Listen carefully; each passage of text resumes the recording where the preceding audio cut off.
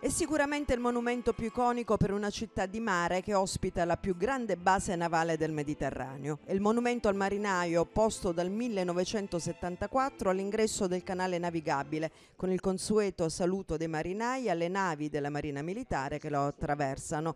Opera dello scultore Vittorio di Cobertaldo, donato alla città di Taranto dall'ammiraglio d'armata Angelo Iachino, comandante in capo della flotta italiana della Seconda Guerra Mondiale. A me piace ricordare in particolare particolare il fatto che i marinai sono due.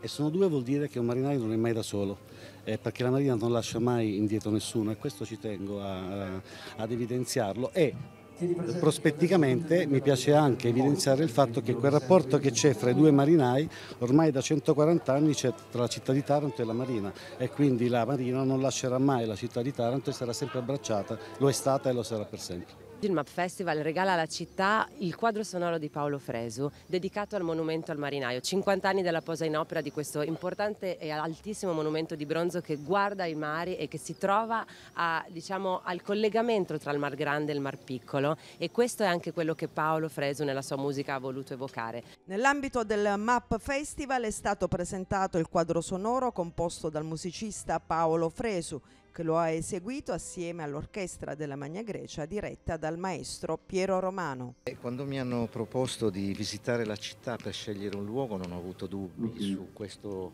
monumento straordinario, non solo per la sua bellezza, per la sua posizione strategica, ma anche perché rappresenta una storia importante, non solo per la città, ma direi per tutto il paese.